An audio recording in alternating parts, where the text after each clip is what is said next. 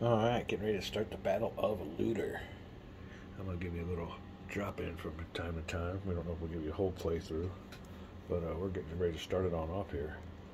Uh, in the early morning of August 27th, and the weather is clear. So, uh, first thing we're going to do is fire up this battery. They're going to go after this uh, little grouping of soldiers. I don't know if they're battalions or what, but there's a grouping of musketeers and pikemen. They're at the bridge, right outside the mill. And uh, we're to give them a big old white die. We're to fire some artillery. First thing we got to do is look at their range. They are two hexes away. I already got a six. So let's see here. Do this together. Uh, two hexes with a six. Oh, that's nothing. No effect. So these artillery rolls, you definitely want a low roll. Alright, no effect. So uh, we will go to the next battery down here. We're gonna fire at the same same unit. Looking for low rolls. Oh, there's more no effects. This is artillery going off all around these boys, but nothing happened. That was uh, useless. We're going back here to sequence of play. Artillery bombardment movement phase. Alright, let me move some units around. You show what the before is. Be back with the after. Well, alright, here is the after. One thing you gotta realize in this game, or you get to, to realize right away, is how in other games there's only stacking of one unit. And how this is a small area, and you gotta get these units, like right here, I had to get these guys out of the way so this guy can come on through. So you got definitely a lot of maneuver going on here. As far as combats go, for instance, I don't think these guys can attack these guys because they don't project a zone of control over across the river. This guy can because he's on a bridge. Same thing here. No zone of control going across here, so he can't. You know, it isn't it isn't mandatory to attack this hex. You can't attack this hex anyway. It's artillery, uh, and you can't attack artillery. You can just move on up there. And he didn't have enough movement points. I put that artillery just right out of range, so he'll be going against these. So I got two fights on the bridges actually going on. You can see my cavalry's getting on the road, getting ready to move on up. And I'm just getting everybody else just moved three hexes or so. Everybody turned sideways has moved. We're getting ready for our first combat on the bridge. And our combatants are Hebers, Herberdorf versus Lenbach. And uh, Herberdorf has uh, old Erweit leading him in the battle. Be back with uh, Tales of the Tape and modifiers. Important bridges do not negate the defense effect of rivers and streams. Huh. Alright, I want to see something here real quick. I didn't think they could attack across the river, but maybe they do, can. We'll be right back. Alright, special rules for this scenario is uh, no cavalry charges. And I noticed that on the um, counters. They had their cavalry charge number in black, and there was none of those on these units. Uh, east side of the map just tells you about a certain uh, cavalry unit there that can't suffer demoralization.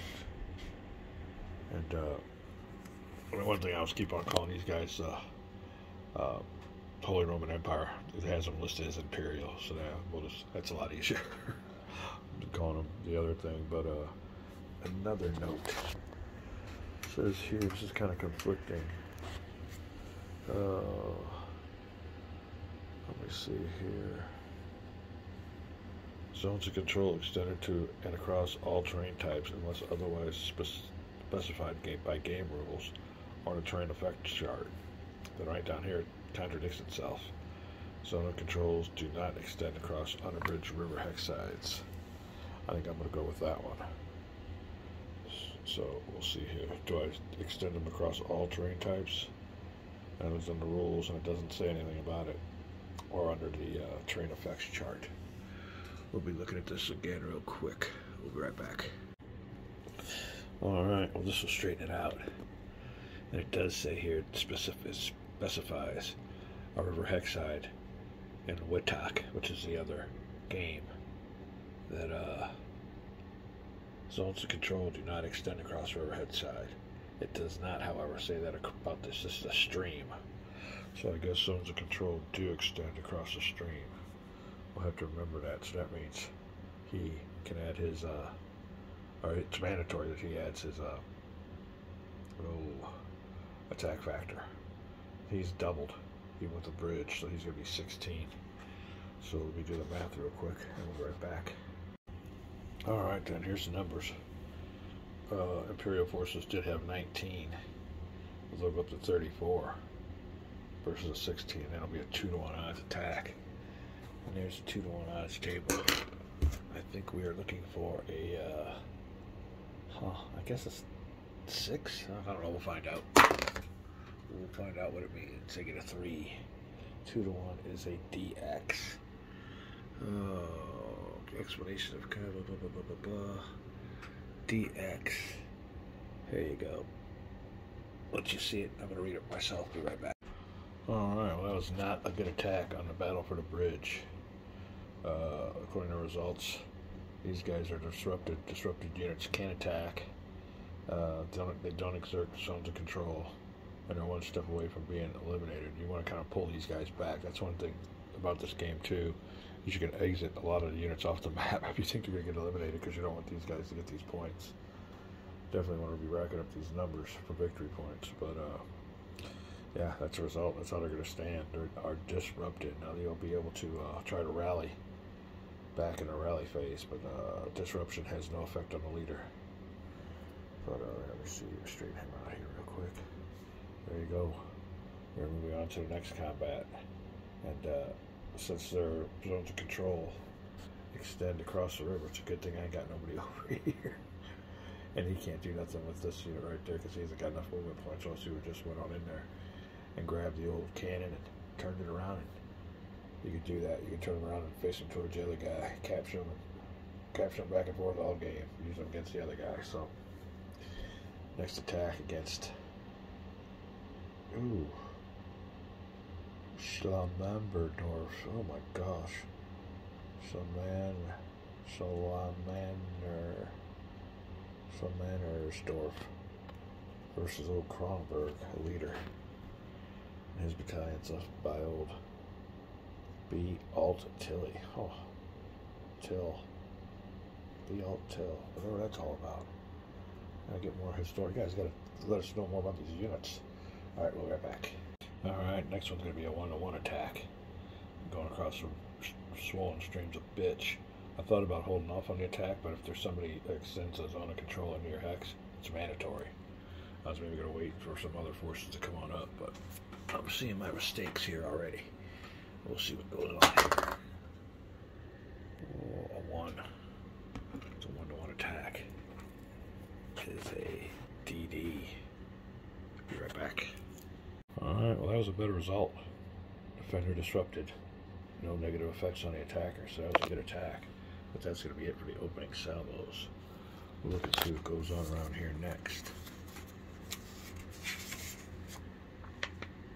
Oh, shoot, shoot, shoot, shoot, shoot.